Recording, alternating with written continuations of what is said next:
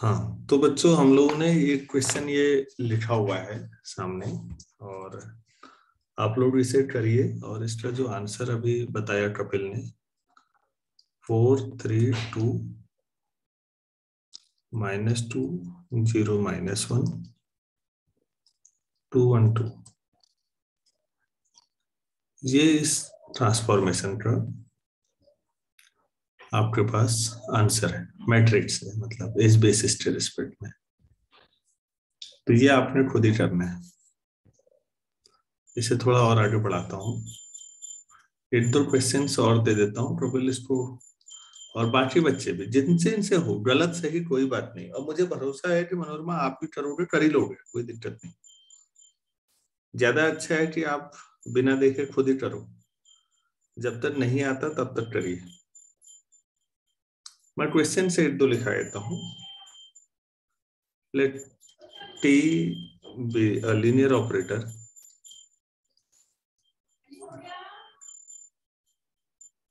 T be a linear operator on R three defined by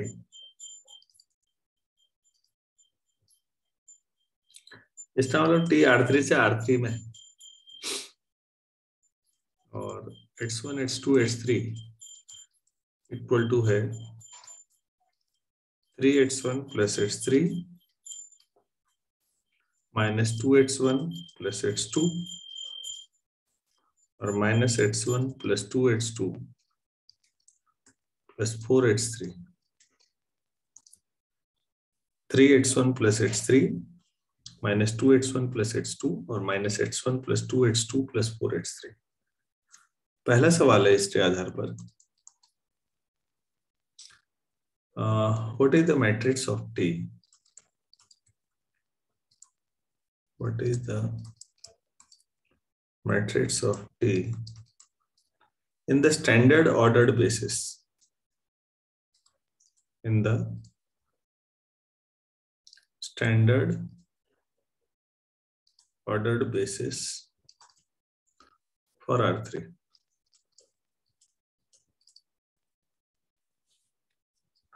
पहला question तो ये है आपके पास। अब ज़रूरी तो नहीं है कि हमेशा बेसिस स्टैंडर्ड ही हो। तो दूसरा है what is the matrix of T in the ordered basis?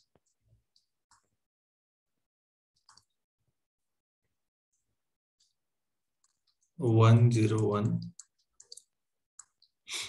minus one two one two one one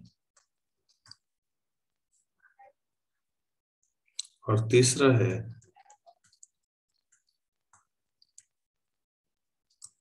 prove that t is invertible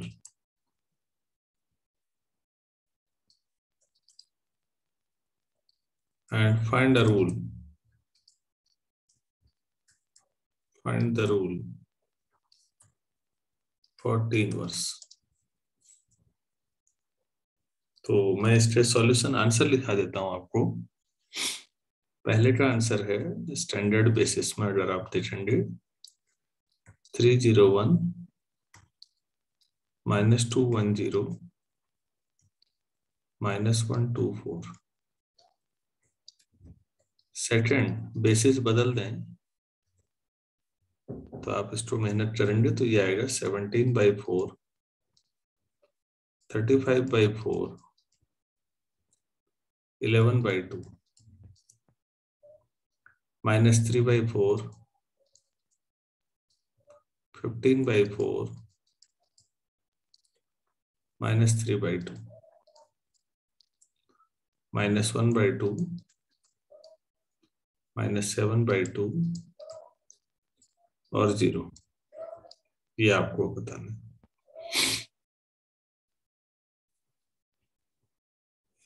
ठीक है। तो मैट्रिक्स वाला मेन है। इनवर्स का तो हमने पहले भी कर दिया था ना? यस सर तो उसकी ज़रूरत नहीं है। मेन ड्रामा मैट्रिक्स वाला सवाल आपको आ जाए। अगर ये आ जाते हैं, मैं फिर कह रहा हूँ, चाहे जेएम की बात करें आप, चाहे आप कोई हमारी यूनिवर्सिटी तो आपको एक आध सवाल आसान आसान सा मिल जाता है यहाँ तो। तो कर ही लोगे अब। अब इस आधार पर एक थ्योरम हम आगे बढ़ाते हैं अब। ये कंसेप्ट हो चुका है पूरा। तो आइसोमॉर्फिज्म पर थोड़ा सा थ्योरम का काम करते हैं। मैं नेक्स्ट पेज में ले जा रहा हूँ आपको।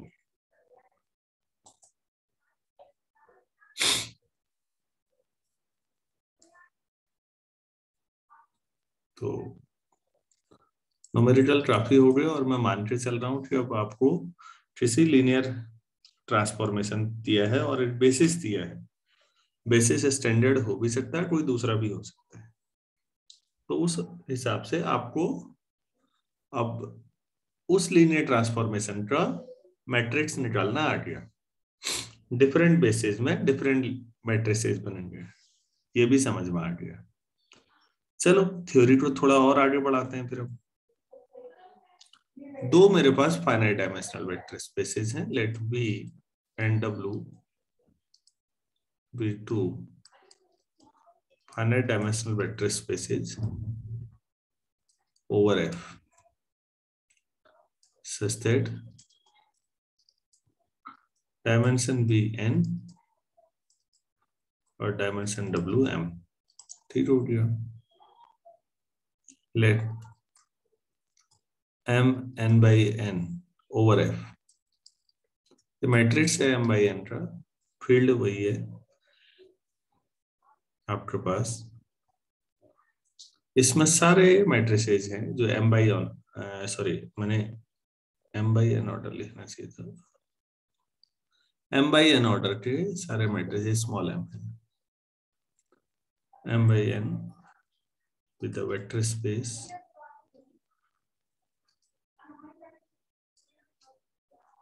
of all m by n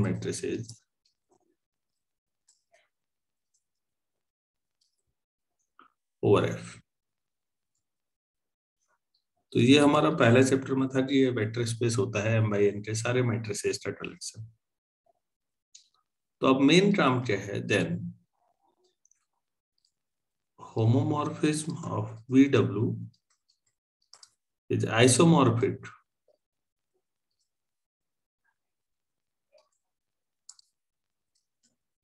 to M M by N over F.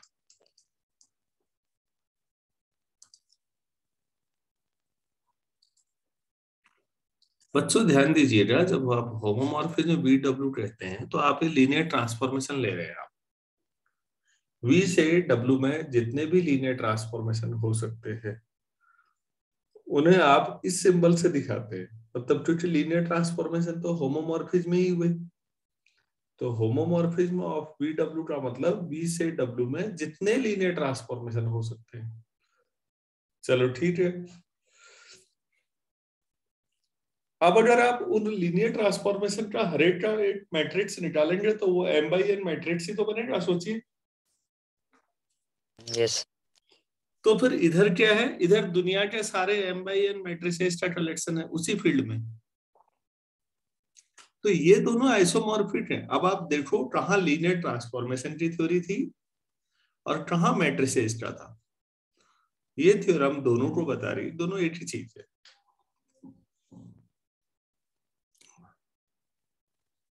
N dimensional से एम डायमेंशनल वी से डब्ल्यू में जितने लीनियर ट्रांसफॉर्मेशन हो सकते हैं, वो वही बनेगा जो basically M by N order के दुनिया के सारे मैट्रिसेज बनाते फ़ील्ड सेम रख लीजिए।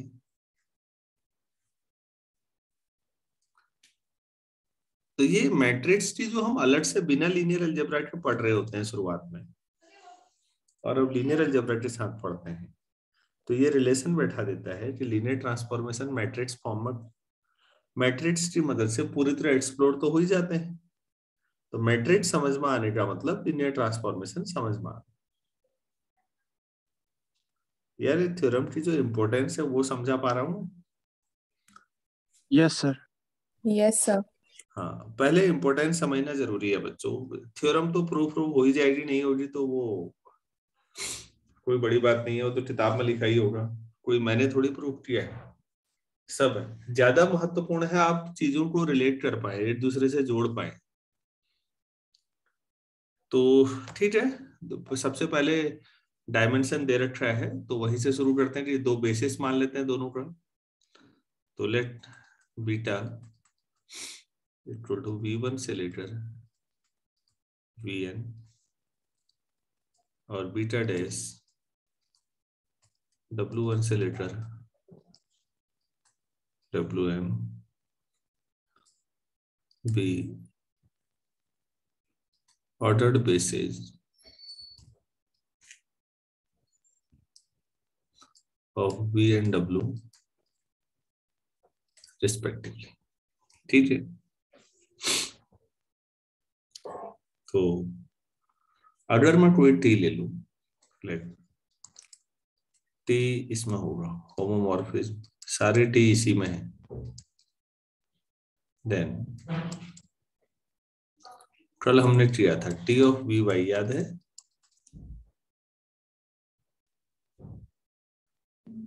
तो मैं सिंबल की सुविधा के लिए जे कर लू एम बाई एन ले रहा हूँ मैं। कल किया था ऐसा याद आ रहा है? Sir alpha J W one J W one one plus alpha two J alpha two W two plus alpha M J M J W M तो मैं दोबारा T of V J summation करेंगे alpha I J W I तो I from one to M हो जाएगा. For alpha I J belongs to field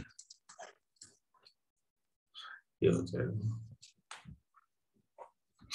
अब जितना हम अभी पढ़ चुके कल और आज में उस आधार पर मैं इसको बाय डेफिनेशन लिख देता हूँ कि जो टी होता है linear transformation beta beta dash के ऊपर वो बेसिकली अल्फ़ा आई जी होता है या नहीं? यस स्टिल एक्स्ट्रा जो कि आपको एम बाई एन मैट्रिक्स मिलता है। Which is N M by N matrix तो प्लीज़ गौर करिए। जहाँ आप एक लीनियर ट्रांसफॉर्मेशन की बात कर रहे हैं, और एक तरफ़ आप लीनियर ट्रांसफॉर्मेशन का मैट्रिक्स भी ला चुके हैं। यहाँ तक कोई डाउट किसी तरह का होगा तो बोलिएगा प्लीज़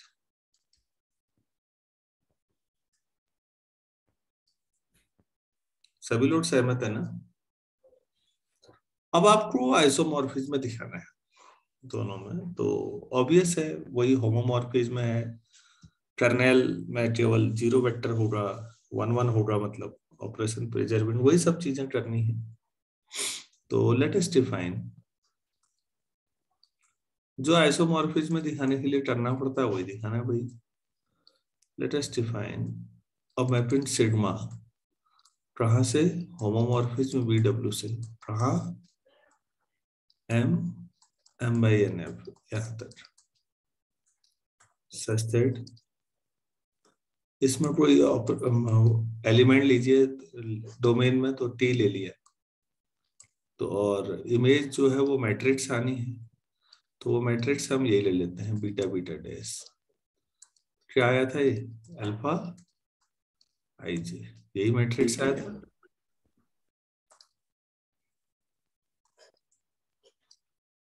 तो हमने एक लीनियर ट्रांसफॉर्मेशन की इमेज एक मैट्रिक्स से क्योंकि ठीक है वो हम कर ही रहे हैं।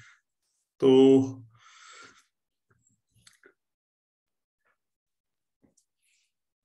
क्या क्या दिखाना होना चाहिए अब? क्या क्या शो करेंगे आपके हिसाब से टी होमोमॉर्फिज्म है ये दिखाना पड़ेगा? यस सर यहाँ मैपिड सिग्मा है बच्चों। सॉरी तो sigma homomorphism sigma is homomorphism पहले हम ये दिखा लेते हैं।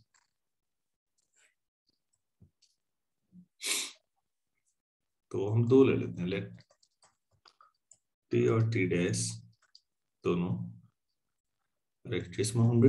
होमोमॉर्फिज्म में ठीक है?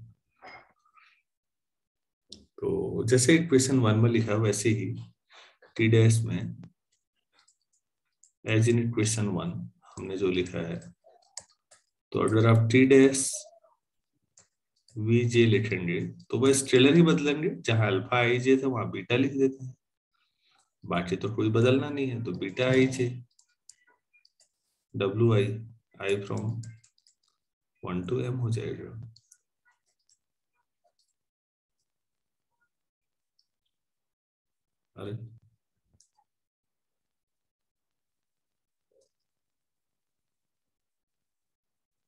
गया भाई? अब ठीक yes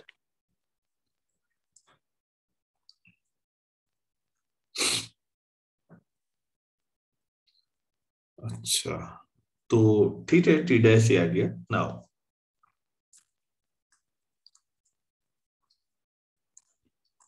T plus T dash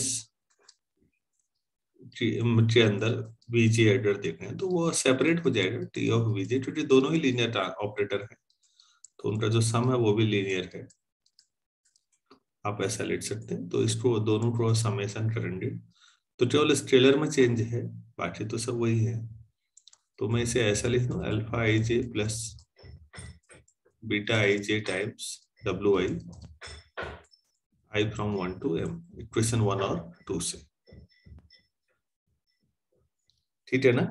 So sigma of T plus T dash क्या होना चाहिए? आप ड्रॉ करिए प्लीज़ इक्वेशन टू के हिसाब से। आपने सिग्मा ऑफ़ टी क्या लिखा है? केवल सारे अल्फ़ा लिख दिए ना?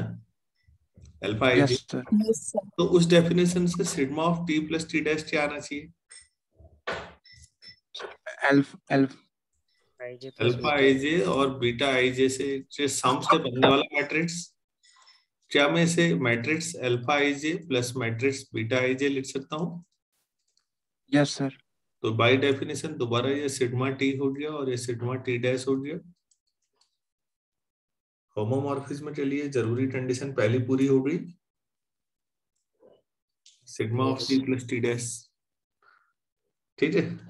दूसरा स्टेलर मल्टीप्लिकेशन से करते हैं, कोई लेट अल्फ़ा ले लेते हैं, कोई फ़ील्ड का एलिमेंट अल्फ़ा टी ऑपरेट करते हैं वीजे में। तो ज़ाहिर सी बात है, ये alpha times T of V J हो जाएगा। ठीक है ना? तो अल्फ़ा तो ठीक है, ये समेसन हो गया। ये alpha I J W I था I from one to M तो भाई अल्फ़ा अंदर जाएगा मल्टीप्लाई हो जाएगा कांस्टेंट है, बाहर आया है। I from one to M alpha into alpha I J W I ठीक है? तो फिर उस हिसाब से बाय डेफिनेशन तो अगर आप सिग्मा ऑफ़ अल्फ़ा टी करें आप तो ये कितना मिलना चाहिए? Square matrix alpha alpha I J square नहीं। मैट्रिक्स ये। अगर मैट्रिक्स के हर एलिमेंट को आप अल्फ़ा से मल्टीप्लाई कर रहे हैं मतलब अल्फ़ा बाहर आ जाएगा। अल्फ़ा आई जी अल्फ़ा ठीक है ये सिग्मा ऑफ़ टी है। तो ये दोनों चीज़ें, ये और ये दोनों अगर एक साथ भी कर देते तो alpha T plus beta T dash कर देते, तब भी ही बात थी। तो ही लाइन में हो जाता यार, दो बार में किया। तो फाइनली क्या प्रूफ कर दिया हमने? Sigma is a homomorphism very good अब क्योंकि आपको आइसोमॉर्फिज्म प्रूफ करना है तो ज़ाहिर सी बात है सिग्मा इज़ वन वन भी प्रूफ करना पड़ेगा भाई। चलिए yes. कुछ नहीं वो वही सब चीज़ें हैं यार। एक बार पढ़ने के बाद फिर लगता है कि हाँ जी? सर सर अगर सिग्मा को इन्वर्टेबल दिखा दे तो वन वन हाँ हाँ एक ही बात है। बिल्कुल। ये आसान पड़ेगा यार। ये वाला। बिल्कुल अगर इन्वर्टेबल दिखा दोगे तो भी तो वही हुआ वन वन हो गया। बिल्कुल सही बात दो इमेज बराबर ले लेते हैं। Let sigma of T equal to sigma of T dash और क्या प्रूफ करेंगे? T equal to T dash हाँ। Sigma of T by definition क्या हुआ? Alpha I J equal to matrix beta I J दो मैट्रिसेस बराबर हैं तो करस्पॉन्डिंग एलिमेंट्स भी बराबर होंगे या नहीं होंगे? यस सर यस तो पहला एलिमेंट पहले के बराबर दूसरा एलिमेंट दूसरे के बराबर है तो अब इस हिसाब से अल्फ़ा आई जे बिना matrix I J equal to beta I J and this is must be true for every I and J तो अगर सारे स्केलर बराबर हो गए तो टी ऑफ़ वीजे कितना होता है भाई? Summation alpha I J W I I from one to M आप कह रहे कि हर एक अल्फ़ा आई जे बीटा आई जे के बराबर है। तो beta I J W I one to M तो ये T dash of V J है। ठीक है? This implies t of vj equal to t dash of vj and this is true for every j. J कितना है? One two three up to N तक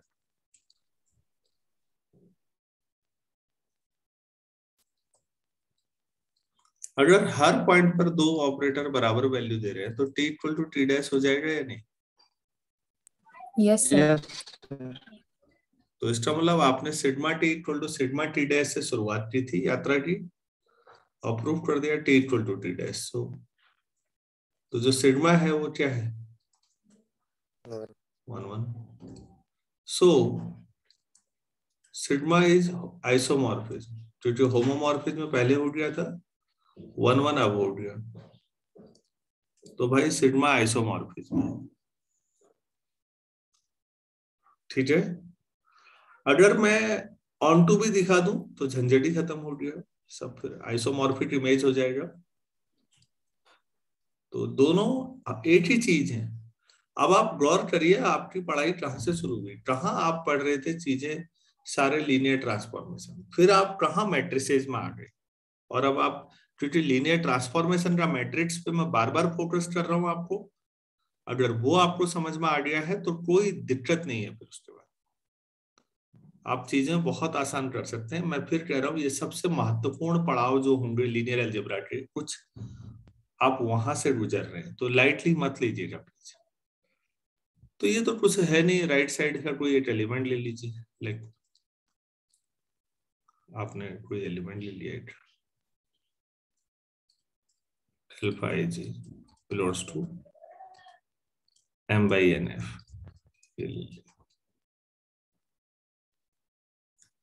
तो आपको हमेशा then there exist a linear transformation कोई सी मान लेते हैं टी मान लेते हैं, वो कहाँ मिलेगा homomorphism of V W that T of V J equal to ऐसा मिल जाएगा आपको alpha I J W I and this is true for all j j1 selector and the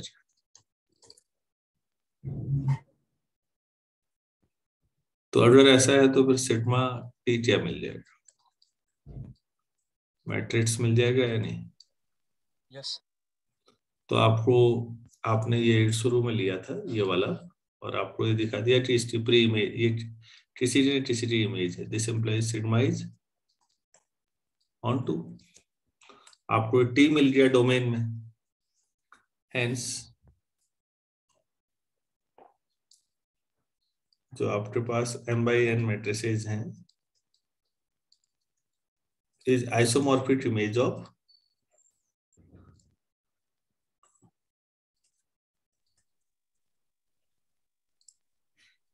sister homomorphism बहुत महत्वपूर्ण रिज़ल्ट है। कि ये दोनों आइसोमॉर्फिक हैं, एक दूसरे के